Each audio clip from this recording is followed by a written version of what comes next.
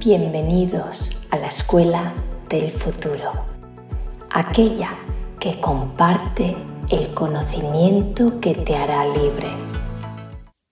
Soy Magdalena López y en colaboración con el canal Educación de la Nueva Era te comparto este contenido para que comiences tu viaje hacia el bienestar integral.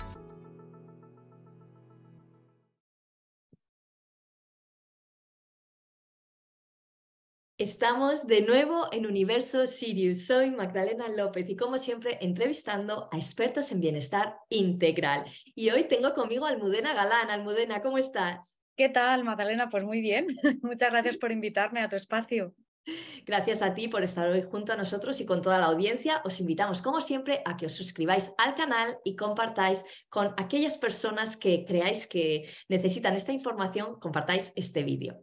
Y bueno, contaros que Almudena Galán es licenciada en biología, formadora certificada en Enneagrama, mentora y life coach y es especialista en coaching Y hoy vamos a estar uniendo el enneagrama con la manifestación. Yo sé que esto os encanta en el programa, os encanta aquí en este espacio de YouTube. Así que bueno, Almudena, ¿por dónde comenzamos? Quizás un poquito eh, desmitificando el enneagrama, yo creo, porque quizás hay personas que no lo conozcan y de ahí ya vamos entrando en el tema de la manifestación. Pues sí, Mata, me parece buena, buena idea, porque el enneagrama, tal y como se, se, entiende, digamos, cuando empiezas a estudiarlo, yo pasé también por, eh, por esa fase, empiezas como a clasificar ¿no? las N de, del griego NA9 y grama dibujo, dibujo de nueve puntas, que llevado a Occidente se transformó, por resumirlo, en nueve tipos de personalidad. Esos nueve tipos de personalidad están interconectados entre ellos y forman eh, infinidad de, conexiones, ¿no? De tal manera que aunque mm, tú, por ejemplo, tengas una tendencia a tener la personalidad tipo 2, por ejemplo, como tienes muchas conexiones y tienes distintos instintos, puede que no te parezcas superficialmente nada a otra persona que tiene esa personalidad, pero con, otros, eh, con otras motivaciones, otra forma de vida y demás. Y hay que rascar ahí un poquito para ver en qué se diferencian y en qué no se diferencian. Pero no deja de ser algo que si se queda en lo superficial, queda en una forma de limitar. ¿no? De hecho, a mí me gusta llamarlo, y no soy la única que lo llama así, el egograma, ¿no? en lugar de eneagrama, porque realmente lo que te está definiendo es la estructura de tu ego. Todos sabemos que el ego, eh, bueno, desde mi forma de, verlo, la forma mejor de explicarlo, es cómo has construido una máscara a la que llamamos personalidad para defenderte o adaptarte a las circunstancias que te ha tocado vivir. Entonces tú eres mucho más que tu ego, pero el ego te ha valido para protegerte, ¿no? Entonces, yo me acuerdo cuando aprendí, cuando aprendí Enneagrama que le ponía número a todo el mundo, ¿no? Hasta los gatos, los perros, o sea, me parecía divertidísimo clasificar a la gente.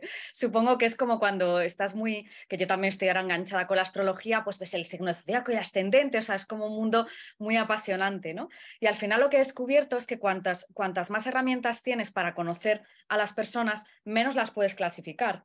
Porque imagínate, Magda, que yo te conozco a ti sé tu horóscopo, sé tu numerología, sé tu enneagrama y sé más cosas. Entonces tengo tantas cosas a las que agarrarme que al final digo, bueno, es que Magda es un todo, ¿no? Entonces no la puedo definir solamente por una vía. Entonces, eh, esta es la idea, em, la idea que yo tengo con el enneagrama desde el enfoque cuántico, es contarlo como tu personalidad es solo una de las posibilidades que tú has tomado como válida y que en ese momento fue la mejor que pudiese tomar. Pero hay infinitas posibilidades que crean infinitas realidades y ahí podríamos entrar con la manifestación. Claro, fíjate porque esta versión que tú, eh, eh, que tú le quieres dar al, al enneagrama realmente te abre a la posibilidad de que el ser humano es, es multidimensional y que porque hoy estés encarnando esta personalidad del eneagrama no significa que si tú haces una toma de conciencia, si tú te expandes, si tú amplías tu conciencia, vayas a estar encarnando otra personalidad más elevada en otro de esos multiversos multidimensionales eh, en los cuales tú te estás experimentando también. Exactamente, ese es el, punto es ese, ¿no? Que, que, muchas veces cuando empezamos a entrar a este mundo de infinitas posibilidades, todas las herramientas o teorías que se quedan solo en la teoría nos parecen limitantes, pero no es limitante porque es, o yo lo veo así, ¿no? Cada uno, como siempre digo, al, al que le resuene que se quede con ello y el que no, por supuesto, cada uno es libre, ¿no? Pero es una forma de, ver como esa montaña que queremos negar, ¿no? Es, hay un dicho, no sé quién lo dijo, que dice, no puedes atravesar una montaña de, la cual niegas su existencia, ¿no? Entonces, eh, claro, el ego es algo que no es malo, que lo ponen como, ay, el ego es lo peor, no. O sea, el ego mientras tengamos un física tiene que existir para protegernos, para protegernos de los miedos, para... Está muy bien, pero hay que ver esa montaña de creencias, de pensamientos, de hábitos, para qué la hemos construido y sobre todo que yo no soy la misma que hace cinco años, ni que hace dos, ni que hace un momento antes de empezar contigo. O sea, todo el rato estamos entrando en realidades diferentes y en cada realidad que vamos entrando podemos elegir cómo comportarnos y cómo pensar. Si como el patrón antiguo, porque es lo que conozco, es lo que me han enseñado o lo que, bueno, más o menos he ido dando bandazos y sigo vivo, pues debe que no estar tan mal, ¿no? O si, aunque no esté tan mal, yo aspiro a algo más que a estar eh, sobreviviendo, ¿no? Y lo que quiero es vivir una vida en la que todo va a ser ensayo er, y error, por supuesto, porque no creo tampoco en la cultura del positivismo, todo está, no, pues oye, el dolor también lo tenemos, también pasamos épocas malas y eso nos da el aprendizaje, ¿no? Pero siempre tenemos esa capacidad de, de elegir en qué pienso y elegir si me agarro a lo de siempre o si quiero eh, ver mañana otra cosa diferente, con lo cual hoy voy a empezar a tener que ser una persona diferente, ¿no? En lugar de estar luchando contra el exterior continuamente, que es lo que la tendencia que tenemos a hacer, ¿no? Sí, así es, así es. ¿Cómo nos puede ayudar el, el enneagrama a abrir, abrirnos a ese campo infinito de posibilidades, de personalidades que están también dentro de nosotros? Bueno, pues eh, el enneagrama te ayuda, o sea, primero eh, creemos que nosotros sabemos cómo somos, ¿no? Entonces, eh, muchas veces cuando yo hago un test inicial de Enneagrama, em, la gente le cuesta mucho responder a una pregunta muy sencilla, que es como cómo te defines a ti mismo o a ti misma en tres palabras. Y la gente normalmente le es más fácil decir cómo le definen los demás o como ha escuchado desde niño que era, ¿no? Pues fulanito es tímido o menganita es muy alegre, tal. Entonces, claro, de niño tú a lo mejor esa palabra no la entiendes, pero vas ya con ella al colegio, ya los profesores te conocen así, tu familia te llama así. Entonces, claro, si no somos capaces de desgranar cuáles son esos adjetivos o esas, esas em, etiquetas que nos han puesto, quizá con la mejor intención, ¿eh? que, que, por supuesto nuestros padres no lo hicieron por mala o los profesores, ¿no? Pero hasta que no somos capaces de ir al fondo de eso, no podemos realmente ver eh, con qué nos estamos identificando. O sea, para yo poder acceder a otra cosa diferente, tengo que saber qué es para mí cierto. O sea, qué palabras, qué pensamientos me, me hacen a mí sentirme, ah, yo soy así, yo soy esa. Es verdad, yo hago eso. Entonces, hasta que no llevamos eso, que mucho es inconsciente, a la parte consciente, yo no puedo tomar decisiones conscientes. Todas las elecciones que voy a tomar van a ser desde el inconsciente, desde conocer a una persona, ¿no? Que a lo mejor conectas mucho con esa persona y enseguida entra tu mente lógica y empiezas a pensar, ah, me gusta pues porque es guapa o es guapo, ah, porque me gusta lo que estudia, o su familia me cae súper bien, o es que tiene gatos, tal. No, y realmente tu inconsciente ya está ahí haciendo la telaraña porque está pensando, ah, esta persona me viene bien para tal o se parece a tal. Entonces, claro, si no sacamos a la luz todo eso que tenemos tendencia a hacer, nunca vamos a poder elegir otra cosa. Entonces, la manifestación para mí se trata de elegir. Em, el libre albedrío, famoso, ¿no? Para mí, y, los, que estamos en el campo, es la capacidad de elegir, de elegir cómo pensar y elegir en qué realidad quieres estar. Lógicamente, primero con tu pensamiento. Entonces, aquí viene siempre eh, cuando yo empecé también con este tema, ¿no? Y, mi formación, que eras que no es científica, pues siempre estás con el lo que no veo, no lo creo, ¿no? Pero esto ah. es al revés. Si yo no creo en la posibilidad de algo antes, jamás lo voy a ver. Entonces es como jugar al mundo al revés, ¿no? y con el claro. es lo mismo. Identifícate para desidentificarte. ¿Y cómo es eso? pues es exactamente el juego que, al, que, al que estoy invitando. Eh, esto me gusta, vamos a jugar, vamos a jugar. Venga, yo te digo una palabra, la palabra perfeccionismo. Uy. ¿Qué enneagrama es ese? Bueno, primero te tengo que corregir. El enneagrama es todo. El, la personalidad se llama eneatipo. El eneatipo. ¿Qué eneatipo es ese? Pues eh, correspondería así superficialmente al eneatipo 1, que le mm. llaman el perfeccionista. Que le llaman el perfeccionista. muy curiosa. En un principio no se quería dar nombres a los números para que no se clasificaran como buenos, malos, pero al final, bueno, pues siempre se intenta dar una especie de resumen y una, una palabrita que, que, digamos que pueda eh, hacerte entender el tipo, ¿no?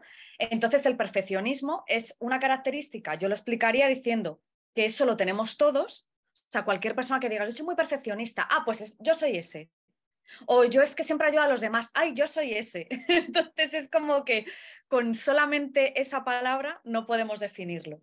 Pero sí que es cierto que la motivación de una persona perfeccionista, o digamos em, su lucha, vamos a decirlo así, es que nunca nada está suficientemente bien. Siempre hay algo por mejorar. Entonces, a lo mejor la persona no se siente identificada con la palabra perfección, pero sí con la palabra mejora. Entonces hay que encontrar ese clic que hace a la persona decir, pues es verdad. Y, las personas que tienen esta tendencia de personalidad, a veces les cuesta reconocerse porque, em, claro, les parece mejorar algo, para ellos no significa que lo que esté esté ya mal. Algo está entre el 1 y el 10 y hay un 8, ¿no? Entonces, mejorarlo al 10, para ellos no es que el 8 esté mal, es que lo voy a mejorar. Vale, pero es que cuando llegan al 10, ¿y por qué no llegamos al 12? O sea, nunca, como que nunca se acaba de rizar el rizo, ¿no? Y entonces eso crea una ansiedad y un estrés muy importante porque es, es una, em, una dificultad para enfrentarse al error, para aceptar el propio error o para aceptar el de los demás. Entonces esta persona hacia afuera puede parecer como alguien muy estricto o inflexible con los demás y lo que los demás no ven es que esa persona primero lo es consigo misma. O sea, cuando nosotros, esto es una pista que os doy para cualquier tipo de personalidad, cuando veamos a alguien muy algo, muy perfeccionista o muy, ay, muy, muy desafiante o que le gusta mucho llevar la contraria o muy alegre siempre, tenemos que pensar en el polo opuesto, porque todo en la realidad tiene su dualidad. Así es. Entonces, si vemos mucho de algo, es que también hay mucho del otro polo. Lo que pasa que yo enseño lo que yo creo que está mejor. Tengo los dos dentro de mí. Y eso es lo que con el enneagrama es, está bien ver las dos partes ¿no? y todos los grises entre medias y así podemos también ver cómo eso que tenemos en la mente lo vemos reflejado fuera. Claro. ¿Cuál sería ahora, como hemos hablado de las infinitas posibilidades de los campos de, eh, distintas personalidades que tiene el ser humano porque es multidimensional, eh, este, este avatar que tiene su eneatipo 1 eh, perfeccionista. ¿Cómo empezaríamos a ayudar a esa persona para que empiece a encarnar esa otra dimensión en la cual ella o él eh, estarían más alineados con quien son y no tanto con ese, esa perfección interna y esa presión interna? Claro, pues lo primero es identificando, como decía, la montaña, ¿no? O sea, cuando em, hay que hacer una observación eh, lo llamamos, bueno, lo llaman en la ley, lo llaman la autoobservación crítica. ¿Qué significa esto? Pues que en lugar de estar observando el error externo, que es la tendencia que tenemos todos, no solo el tipo 1, pero hablando en concreto de alguien que tiene mucho esa tendencia, en cuanto yo me pillo ¿no? Eh, criticando el exterior, ahí eso es un alto para mí, es una bandera roja y digo, vale, si tengo tan activo el crítico externo, es que está muy activo el crítico interno, ¿no? Entonces, ¿qué está ocurriendo? Que se me está despertando la defensa, ¿no? El, digamos, esa máscara, lo has llamado tú muy bien, Magda, el avatar, ¿no? Ya está aquí el avatar de hay que mejorarlo todo, ¿no? todo es mejorable, ¿vale? Pues está muy bien, pero podemos ver que el, camino de aprendizaje, en este caso el tipo 1, sería, puedes mejorar las cosas, pero aceptando las que hay en este momento. Es decir, es mucho más útil mejorar algo que ya está bien y que si se queda así no pasa nada. O sea, no, yo puedo dormir tranquilo, yo puedo tener una vida tranquila. ¿Tengo en mente una meta de mejorar algo? Por supuesto. Y, hacer cosas, digamos, diferentes. O sea, está muy bien. No se trata de hay, hay, un concepto también como que, bueno, que en, el ámbito espiritual todo está fenomenal, hago el OM y no pasa nada. No, o sea, tenemos una asistencia terrenal en la que está fenomenal tener metas, objetivos y querer avanzar, pero el estado desde el cual queremos esa meta puede ser desde el no me gusta nada donde estoy, entonces voy a ir con esfuerzo, con crítica, con agotamiento, o desde acepto lo que hay, lo cual no significa me conformo. Entonces, para, claro, es que son conceptos también diferentes. Entonces, acepto lo que hay porque es lo mejor que se ha podido hacer este, hasta este momento. Por ejemplo, si tú tienes, estás en un trabajo y quieres mejorar algo, en lugar de criticar interna o externamente, porque a lo mejor externamente no lo haces, pero internamente dices, jolín, yo hubiera hecho otra cosa, ¿vale? Pues hazla, pero acepta que lo que se hizo en este momento fue lo, mejor que se pudo hacer en ese momento. Y partiendo de esa base, tú, eh, ay, el gato me... estamos en directo, pero aquí los felinos hacen lo que quieren. Yo lo siento, pero cuando veo un gato tengo que parar. bueno, entonces la diferencia siempre está en el, en el camino, en cómo haces el camino hacia la mejora. Si desde la crítica a todo o desde la aceptación. Y entonces ahí, solamente dándote cuenta de que te estás crítica, puedes saltar a otra realidad, pero el eneatipo 1, por ejemplo, claro, una de las cosas que em, una de sus características es que le gusta mucho, es una persona em, que es muy, mm, eh, tiene muy buena planta, muy buen aspecto, le gusta dar muy buena imagen, le gusta ser una persona justa, íntegra. Entonces, también hacia adentro le cuesta reconocer que está criticando. O sea, una frase muy del tipo 1 podría ser, no, no es que yo diga que esto está hecho un desastre, es que está hecho un desastre. O sea, es como, no es mi verdad, es que es la verdad absoluta, ¿no? Claro, y además te lo dice como diciendo, pero es que es obvio para el universo entero que esto está mal, ¿no? Entonces, claro, si no tenemos un poco de humildad, todos, a todo ego le falta humildad, ¿eh? estamos hablando solo de un ejemplo, ¿no? Eh, no puedes decir, no puedes pensar de verdad que a lo mejor para ti está mal a nivel Dios de mal y para otro no está tan mal, para otro está bien, para otro está medio bien, entonces, claro, la primera eh, cosa para hacer, bueno, el, primer, em, la primera condición, vamos a llamarlo así, para aceptar infinitas posibilidades es aceptar que la tuya solo es una de ellas, porque si piensas que es la única, no puedes elegir otra posibilidad, es imposible. Bueno, yo me veo muy reflejada porque soy un uno, rehabilitado, rehabilitado, por eso he puesto el ejemplo. Menos mal que no te he hablado muy mal. No, yo ya reconozco mis sombras y me río de ellas, o sea, no pasa nada. Pero fíjate, es lo bueno porque además eh, el ejemplo este de la montaña, ¿no? De que no puedes traspasar una montaña que no reconoces, también eh, nos hace darnos cuenta que si nosotros no reconocemos que estamos en el perfeccionismo, tampoco puedo saltar a esa nueva versión que, que hay en mí. Y justamente antes de entrar en el, en el live estábamos hablando de la ley de asunción. Y la ley de, de asunción es esa convicción interna de que hay una realidad que, que, que puedo manifestar diferente. Entonces, Claro, si nosotros no somos conscientes de que tenemos eso, de que hay una montaña y encima de que puedo saltar esa montaña, pues obviamente mi nueva conciencia, mi nuevo yo, mi nueva personalidad más alineada al ser no se va a materializar. Claro, exactamente, es así. Y, y Mata, por curiosidad, ¿cómo cuando, cuando hiciste, has dicho reciclada o renovada, no sé cómo, cómo lo has llamado? Rehabilitada, rehabilitada. rehabilitada. ¿Cómo, ¿Cómo, fue en tu caso mm, saltar como a una realidad en la que a lo mejor no dieras tanta importancia, que todo fuera tan perfecto? O sea, porque no se hace de un día para otro, pero eh, cuéntanos como qué pequeñas cosas ibas diciendo, uff, tendería yo a hacer esto, pero no lo voy a hacer. O sea, cosas así que te acuerdes para poner ejemplos. Hombre, pues por ejemplo, al principio... Em, eh, yo me molestaba mucho cuando si había una taza de café aquí en mi habitación y entraba mi madre y la movía aquí, yo era una locura. O sea, era como, ¿quién ha entrado en mi habitación y ha tocado algo? Estamos hablando cuando tenía 15 o 16 años, ahora tengo 37. ¿Vale? Y, bueno, pues ahí empecé a trabajar internamente eh, qué sensaciones emocionales me producía el que alguien moviese algo en mi espacio privado. Entonces, para mí era la calma y la presencia. Si alguien entraba y, y, movía algo de lo que yo para mí era perfecto, para mí mi calma y mi presencia, se, mi tranquilidad se evaporaba. Entonces, claro, era como, en mi hábitat privada no toquéis nada porque es el lugar donde yo me siento segura. Claro. De ahí empezó a nacer mi perfeccionismo. Claro, claro. Eh, de hecho, has dicho una cosa muy interesante porque em, aunque vivimos en un mundo dual, el eneatipo 1 no lleva muy bien las, los grises. Entonces, ahí has dado la clave. Es como, solo hay mi vaso aquí, esto es mi paz, mi vaso allá, ¡ah!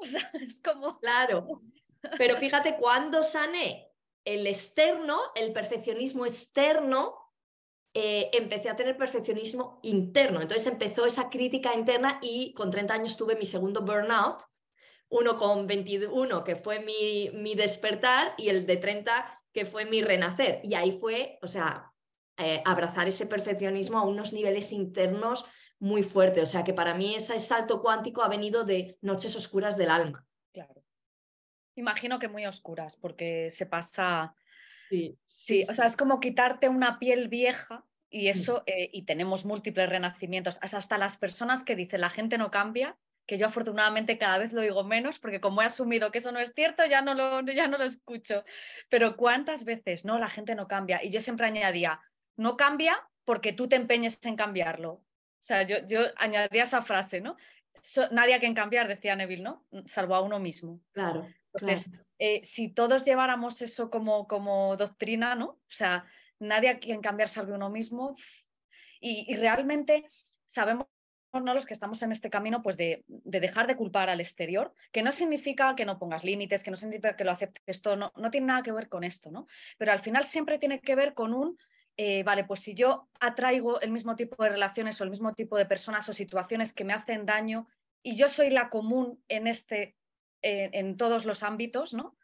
algo tendré yo que ver en esto, ¿no? Esto no significa tengo la culpa, tengo mala suerte, me ha tocado, no, significa que hay algo que no estoy viendo y que necesita ser visto, porque la situación no se me deja de repetir hasta que yo no dejo de responder o reaccionar de la misma manera, que esto el enneagrama también lo puede explicar muy bien, la tendencia que tenemos a reaccionar siempre de la misma manera, entonces me paro un momento y digo, vale, esto está volviendo a pasar, yo haría esto, que es lo de siempre, ¿qué tal si hasta que no tome un poco conciencia de qué está pasando, en lugar de reaccionar como siempre, nos vamos un poco al silencio, ¿no? Al silencio mental, no es que no podamos hablar, me pongo a hacer otra cosa, me pongo a pensar otra cosa, dejo de darle vida a esa situación que se me repite y muchas veces como de la nada, yo que sé, estás haciendo deporte o te estás duchando o estás con la mascota y de repente dices, ahí va, si yo había interpretado esto de esta manera, pero también puede haber otra interpretación.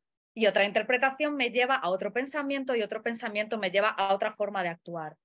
Pero claro, si estamos todo el tiempo en piloto automático, en modo acción-reacción, no salimos de, de, la Matrix, como decimos, ¿no?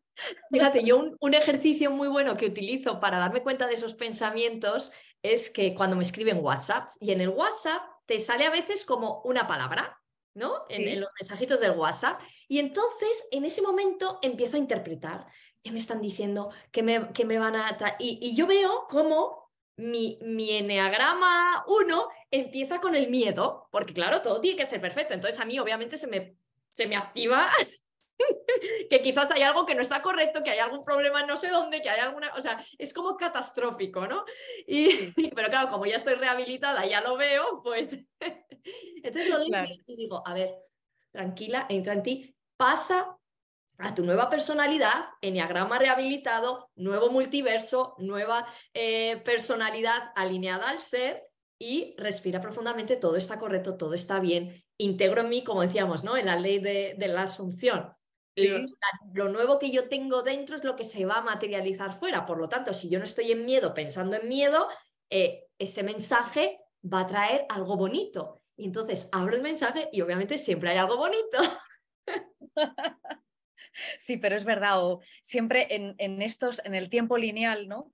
lo que acabas tú de explicar, ¿no? O a lo mejor has tenido alguna diferencia con alguna persona, ¿no? Y a lo mejor pues ha habido un intercambio de, de WhatsApps, no, no, se ha podido hablar, digamos, en persona. Y entonces como que tienes un poco de miedo a la respuesta, ¿no? Pues como sabrá, hablo que no hablo de insultos ni nada, sino algo, bueno, una conversación un poco, pues, eh, tirante o, o, que estás expresando algo que, que, no te ha sentado bien o te gustaría que hubiese de otra manera. Y, y entre que tú lo expresas y la otra persona responde, tú te imaginas, tienes un montón de conversaciones internas que dices, pero, pero ¿por qué? Y, tendemos a hablar con esa persona por dentro y dices, es que todo esto en lo que le dé energía se va a manifestar así. Así que, claro, pero también es muy buen momento para decir cuántas veces nos pillamos, jo, yo muchas veces a lo mejor estoy haciendo algo mecánico de la casa, estoy planchando, estoy cocinando algo y de repente me pillo y digo, pero si llevo 10 minutos hablando con Pepita, con Juanita, teniendo esta conversación y digo, le tiene que estar llegando esto que estoy pensando de alguna manera, ¿no? Y hasta que luego se da la conversación, es, eh, ahí está lo que dicho, Mata, esa autoobservación es todo lo que hay en mi conciencia, todo eso que me he estado diciendo yo sola, imaginándome la conversación, eso es lo que tenemos libre albedrío para cambiar. Y si esa conversación es desagradable o es, ay, pues no sé qué, ah, pues te molesta, pues mira, pues no haber hecho esto o otro, ¿por qué no la cambiamos a, ah, pues lo has entendido, ojo, pues yo pensé que te había molestado, pero qué bien que no te has molestado. O sea, al final, eh, muchas veces yo pensaba, ¿no? Eh, es que estoy como loca, ¿no? Estoy yo aquí hablando conmigo misma, digo, pero si siempre estamos hablando con nosotros mismos, ¿por qué no hacer que ese diálogo sea a nuestro favor y no en nuestra contra? Sí, fíjate que eh, además yo me he dado cuenta que después de todo este trabajo personal y, espiritual que he hecho durante los años, ahora cuando estoy visualizando cosas de futuro, me he dado cuenta que cada vez son como, como mucho más positivas, porque yo voy sonriendo por la casa, ¿no? Así como imaginándome, pues cuando voy a hacer una entrevista con alguno de vosotros o tal, y yo empiezo, ay, sí, mira, y le podría preguntar tal idea, y entonces empiezo a sonreír, ¿no? Como enamorada, cuando, como cuando estás imaginándote algo y estás, y mi pareja me dice, ¿qué, ha pasado? ¿De qué te ríes? Y yo, ah, ah, pues nada, pues fíjate, estaba teniendo un pensamiento.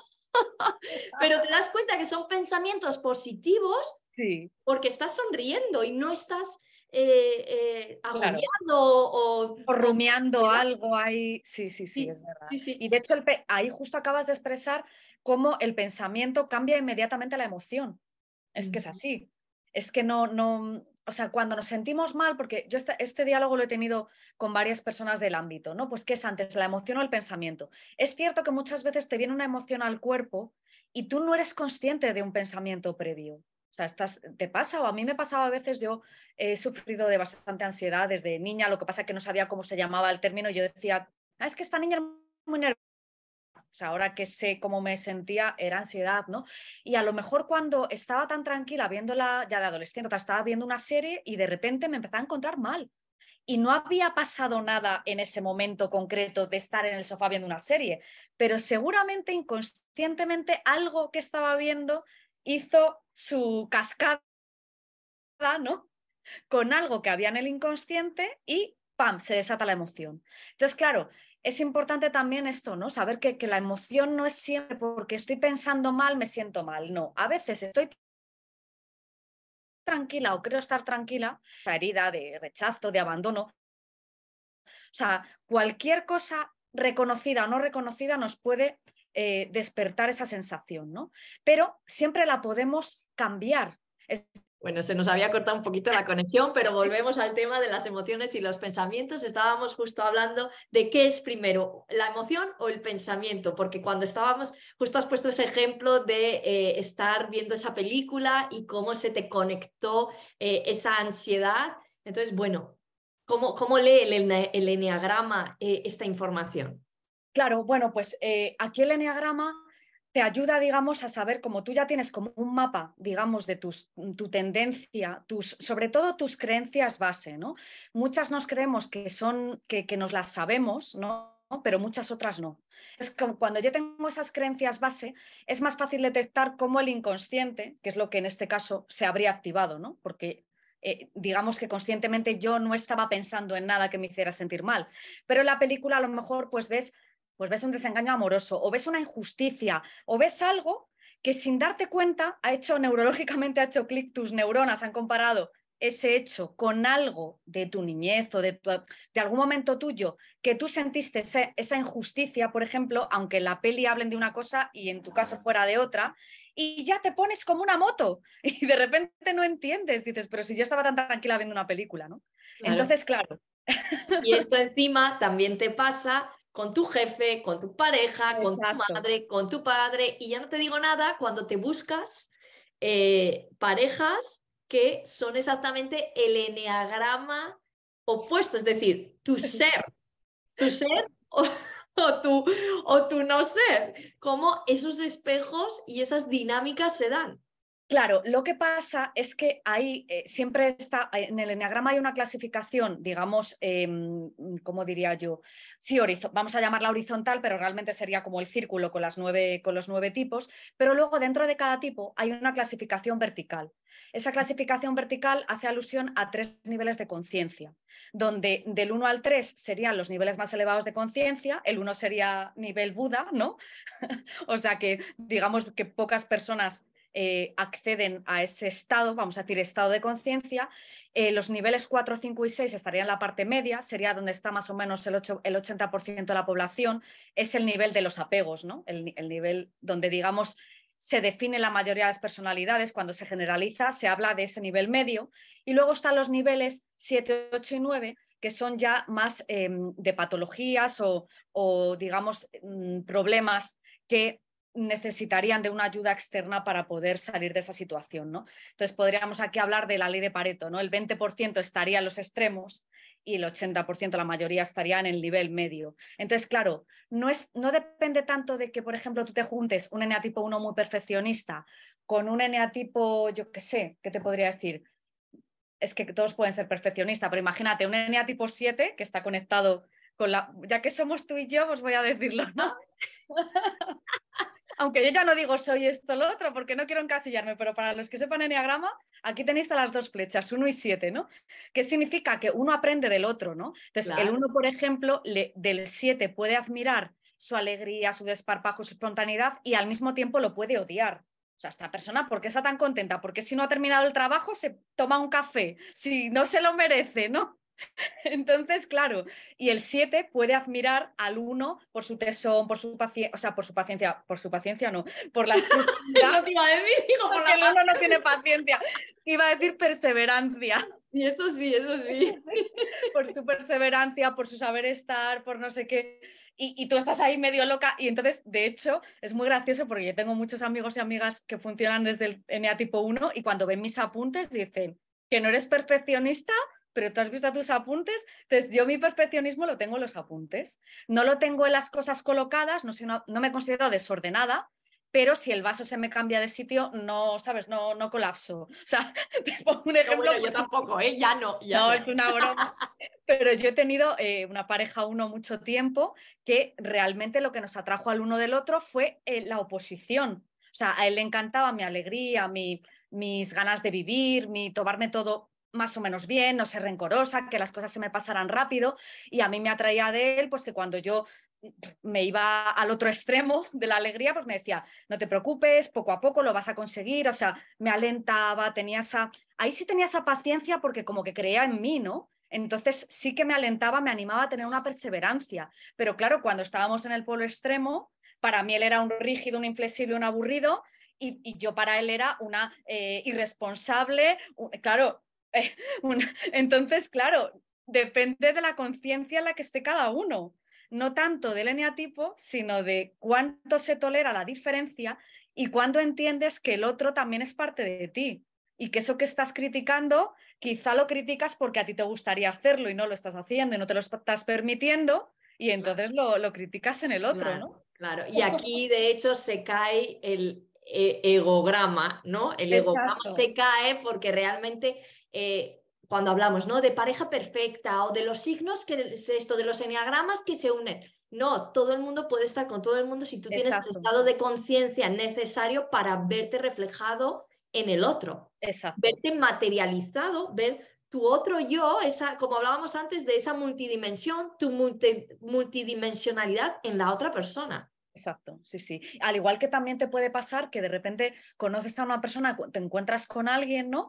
Y, y ves que es que eres, que eres tú, dices, pero si es que esta persona es como yo, pero no es que haga las cosas como tú, no, no es en plan, es, es, mi espejo en el sentido ni opuesto ni igual, no, es como que dices una palabra y la persona la termina, o que piensas una cosa y la persona piensa igual, pero esa persona tiene una forma de actuar y tú otra, o sea, no es que seáis gemelitos y hagas todo igual, pero hay una conexión tan grande que dices, jolín, pero, pero ¿por qué te metes en mi mente? O sea, no, no deja de hacer eso, ¿no? Y, a lo mejor son personas que nos han visto en años o que no tienen un contacto diario, pero existe como ese reconocimiento que para mí es álmico, ¿no? De, del ser, que es algo que va más allá del tiempo y del espacio, o de tú eres así, tú eres asado, o de somos amigos, novios, no es algo etiquetable, es algo que se nota por dentro, ¿no? Y entonces dices, jo, esta persona haga lo que haga, como que yo la voy a entender y al revés me voy a sentir comprendido por la persona, como que no hay malentendidos. Es, es ese, voy a decir, como una, una energía similar. Aunque la forma de manifestar esa energía sea diferente, la vibración es muy parecida. Y entonces a mí eso, eso trasciende el horóscopo, el eneatipo, es únicamente vibración. Entonces, claro. lo que pasa es que está muy bien estudiar, eh, digamos, pues el horóscopo tal porque te sirve, pues como el que yo que estudia biología, pues cuando estudiamos el cuerpo humano, evidentemente había una clase del reproductor, otra del digestivo, pero tú sabes que están todos en el mismo cuerpo funcionando a la vez. Pues esto es lo mismo, ¿no? Todos tenemos todo dentro, pero tenemos eh, digamos, botoncitos que nos conectan más que otros, pero están todos dentro de nosotros. Y eso es lo que deberíamos reconocer en nosotros y reconocer en los demás, ¿no? Porque al final también, Magda, cuando em, etiquetamos a alguien como algo inamovible, también lo estamos limitando a la otra persona. De alguna manera le estás obligando a comportarse como tú crees que es. Y, Exacto. Y ya se va a comportar así porque tus ojos de ver son de un color y aunque el otro tenga otro color, tu filtro siempre es el mismo, ¿no? Así es. Qué bonito. Me, encantaría cerrar con, con, esto de vamos a, eh, a limpiar ese filtro. Y el enneagrama nos da esa posibilidad de limpiar ese filtro con el cual nosotros vemos al otro. ¿Por qué? Porque si yo observo a través del enneagrama cómo soy yo, puedo materializar esa nueva eh, personalidad, esa, este, e, esa parte más multidimensional mía de conciencia que me permite verme con los ojos eh, del yo soy, con los ojos de, de, la esencia pura. Exactamente. Y en la medida que yo lo pueda hacer conmigo, lo voy a poder hacer con el exterior. Así que no, yo, yo, lo dejaría con esta frase, ¿no? De, de nadie a quien cambiar salvo a uno mismo. Y con eso cambia todo lo externo.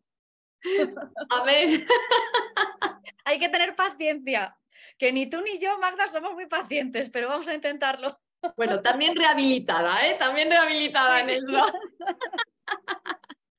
poco a poco, pasito a pasito. Los años, los años te hacen más paciente, yo creo. Es verdad, es verdad. Sí, sí. Así que bueno, pero se intenta cada día. Así que también pensemos que cada, cada instante, no hace falta que empiece el año, sino que puedes, digamos, resurgir de tus cenitas en cualquier instante, pero es una decisión continua que tenemos que tomar.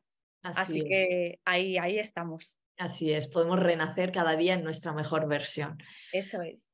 pues Almudena, ha sido un pedazo de placer tenerte aquí hoy en este espacio. A toda nuestra audiencia, por favor, compartir este vídeo, seguir a Almudena en sus redes sociales. Aquí abajo os vamos a dejar toda la información.